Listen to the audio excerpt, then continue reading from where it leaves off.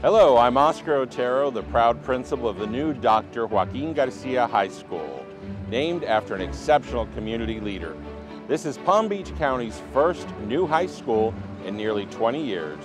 Our state-of-the-art facility will have the latest in technology and security features, along with a wide array of academic and extracurricular activities, including sports and the arts. There's going to be something here for everyone. Hi, my name is Corey Clausen and I'm the assistant principal here at the new high school and I'm going to talk to you for a moment about our academics. We are going to offer the full AICE diploma so students from all high schools will be able to continue on with their AICE diploma.